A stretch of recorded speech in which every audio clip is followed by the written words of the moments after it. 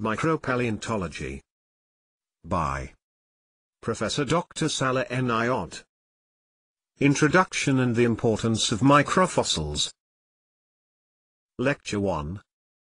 Introduction and the Importance of Microfossils.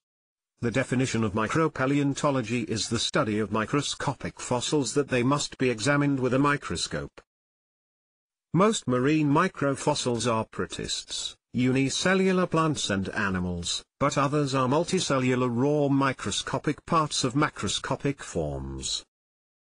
The value of marine microfossils is enhanced by their minute size, abundant occurrence, wide geographic distribution in sediments of all ages, and in almost all marine environments. Most planktonic and many benthic microfossils have wide geographic distributions that make them indispensable for regional correlations and comparisons, and paleoceanographic reconstructions. Marine microfossils occur in sediments of Precambrian to recent ages, lived in almost all marine provinces, Neritic, littoral, province, inner, middle and outer, up to 200 meters, Bathyal, oceanic, province, upper, middle and lower, up to 2000 meters and abyssal, oceanic, province up to 5000 meters. Calcareous nanoplankton. Ecology. Habitat. Geologic range. Mineralogy. Type of protista. Photosynthetic slash various heterotrophy slash carnivorous. Aquatic Silurian. Dash recent. Organic. Dinoflagellates. Unknown. Marine. Precambrian recent. Acritarchs. Photosynthetic. Any wet. Cretaceous recent. Upper silica. Diatoms. Photosynthetic slash various. Heterotrophy. Cretaceous, recent. Silicoflagellates. Various heterotrophy. Cambrian, recent. Radiolarians. Jurassic, recent. Calcite. Calcareous nanoplankton. Various heterotrophy, some with symbionts. Organic, agglutinated, calcareous, some other. Benthic forams, Planktonic forams. Silicoflagellate, Dictyocha. Microfossils include Radiolaria, silicoflagellates, calcareous nanoplankton, pteropods, foraminifera and diatoms are planktonic, free-floating, and live in abundance from 0 to 200 meters in the open ocean. Silicoflagellate, Dictyocha. Radiolarian shells, Calcareous nanoplankton. Pteropods. Diatoms, radiolarians, and Planktonic diatoms. Planktonic foraminifera. Diatoms, radiolarians, and a silicoflagellate planktonic foraminifera Ostracodes Bryozoa Chrysea Acropora Coryzopora Brongniartii. Other groups as the ostracodes, Bryozoa, and some foraminifera and diatoms are benthic, adapted to living on the bottom of the sea. Ostracodes Bryozoa Chrysea acropora Coryzopora Brongniartii Benthic foraminifera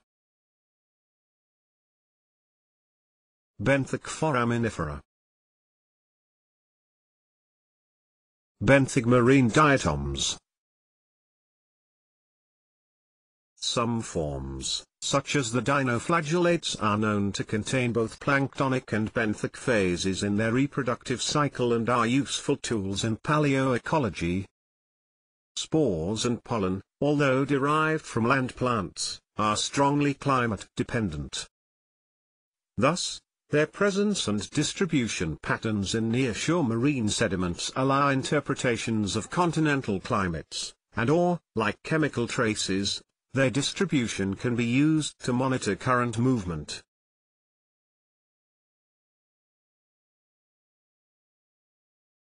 Scope of foraminiferal studies The reason why foraminifera are important in oil exploration and other subsurface work as index fossils, indicators of a particular geological age, lies not only in their abundance but equally in their range of size. This is generally between 0.10 mm and 1.00 mm in diameter and averages about 0.33 mm, equal to the fine sand grade of sediments. Although some are macroscopic and exceed 5.00 mm in diameter, larger foraminifera, and some are smaller than 0.10 mm, microforaminifera. The reasons for the particular value of foraminifera in stratigraphy. 1. They are abundant in most marine sediments, in outer shelf muds where several thousand specimens representing some 50 species frequently occur in a 10 ml volume sample. According to Levine, 1962, they constitute 2.5% of the animal kingdom and more than half the known protozoa. A number of species belonging to different families also occur in brackish water but only members of the non-testate Allogromiida occur in freshwater. Therefore, the occurrence of foraminifera is an indication of marine, high marine to brackish, conditions. 2. The average about 0.33 mm in diameter, fine sand, with range from 0.10 mm to 1.00 mm. This means that they escape destruction during the ordinary process of rotary drilling. 3. Stratigraphic markers tops based on the first appearance of species and assemblages in ditch cuttings can be applied in correlation which can be carried out without expensive coring. 4. It has existed in abundance since the Cambrian, showing well-marked evolutionary changes useful in stratigraphy. Different families mark the eras and major time periods.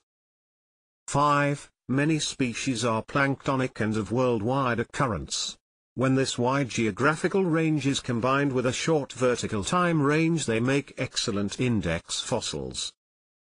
6. Many species are restricted in their habit and confined to a particular ecological niche.